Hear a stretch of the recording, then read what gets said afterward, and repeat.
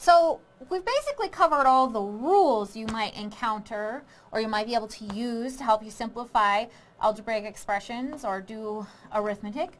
Um, but there are a couple of special kinds of exponents that I want to talk about uh, that do come up and that can help you.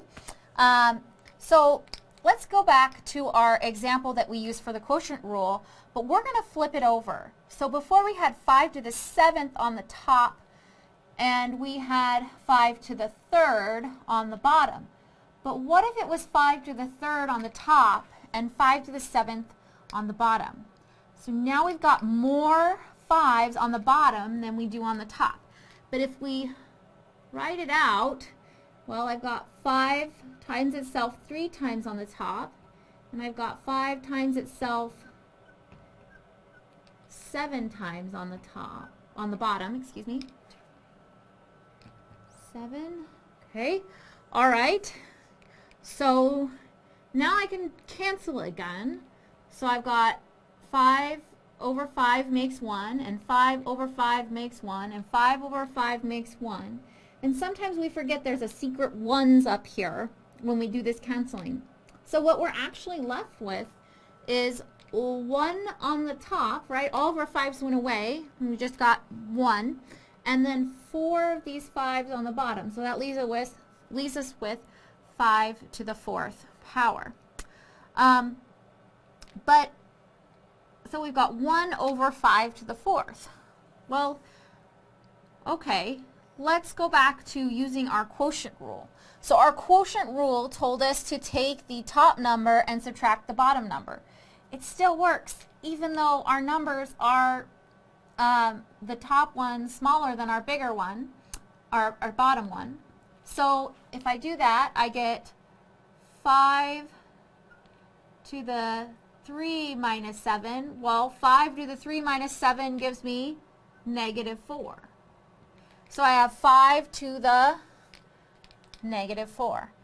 So that means 5 to the negative 4. If this guy is equal to this guy, which is equal to this guy, which is equal to this guy, equals is what we call transitive. So if one thing is equal to another, and then that's equal to something else, then the two things on the end have to be equal to each other for that to be true.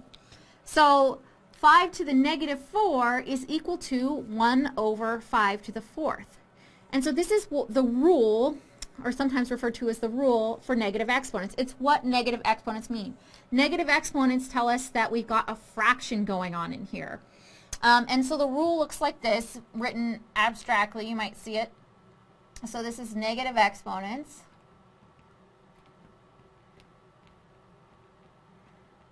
So it says if you've got a to the minus the, a negative number, that's the same thing as 1 over that number to the positive power.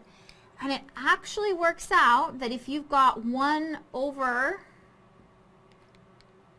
uh, a number raised to a negative power, right, it becomes a to the positive power on top. And you could think of it as over 1. But this is really just the same thing as a to the positive n because anything divided by 1 is just itself. And so how I remember this one, if an exponent is negative, it becomes positive when it crosses the line. So when it cross, in order to make it positive, it has to cross that fraction bar. So for this guy, for him to become positive, for the exponent to become positive, we had to cross the fraction bar and drop into the bottom of the fraction. And this one, for the exponent to become positive, we had to cross the fraction bar, meaning go into the numerator for the exponent to become positive. And so that's what it means to have negative exponents. So we could look at an example, just a quick one. If I've got 2 to the negative, I don't know, 12, okay, so we've got 2 to the negative 12. So this guy becomes, in order for the exponent to become positive, which we, we prefer positive exponents, of, uh, algebraic expression isn't simplified unless all the exponents are written positively. So we need we see this as negative, and so in order for that to become positive, it has to go below the fraction bar. Um, so sometimes it's easier to think about over 1, if that helps. So what I'm going to do is um, move the 2 into the bottom. And so that's going to leave me with a 1 on the top, not a 0, right? So this becomes 2 to the positive 12. Um, maybe you have another one where you've got, let's say we've got 4 over 5 to the negative 2. Well, I don't like this negative 2. So again, I'm going to do the same thing. I'm going to move the 5 to the top of the fraction bar, and it's always times between, and the 2 becomes positive. If it wasn't times, you couldn't use this rule.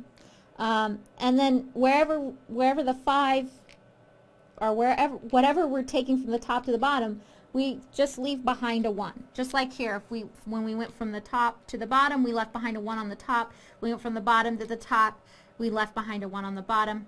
But anything divided by 1 is just itself, so in this case we actually don't really need the 1.